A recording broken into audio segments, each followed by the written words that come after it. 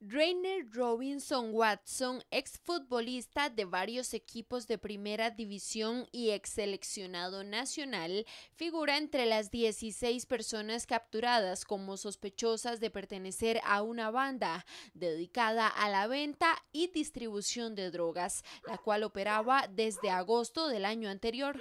Este grupo era conocido en el sector de Santa Cruz y en general en el cantón de Guanacaste como los limonenses, dado que era eh, regentado y dirigido por dos hermanos eh, que eh, pertenecían o eran oriundos de esa provincia y que tuvieron algún tipo de particularidad o destacaron en el ámbito delincuencial de la zona.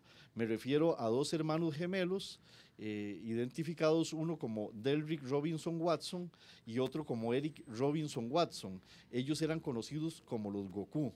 Además, eh, un hermano suyo, identificado como Rainer Robinson Watson, de 42 años de edad, también integraba la organización criminal. Este grupo operaba em, esencialmente de la siguiente forma.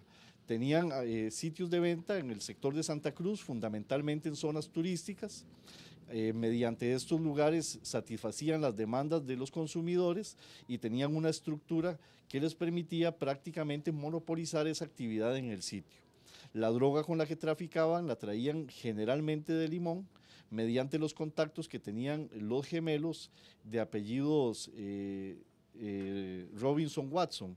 Y además su hermano, que era Rainer Robinson Watson, también se encargaba de actividades de transporte de ese mismo tipo de sustancias desde Limón hacia el cantón de Santa Cruz.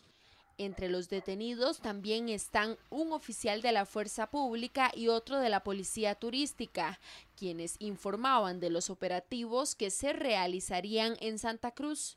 Cabe señalar que también detuvimos a dos oficiales de policía que pertenecían a la organización criminal, que les facilitaban eh, datos, que intervenían eh, también en actividades de trasiego y que fueron identificados uno como oficial de la policía turística, que es de apellido Álvarez Quirós, y otro de la Fuerza Pública de Cartagena, que es identificado con los apellidos Álvarez Jaén.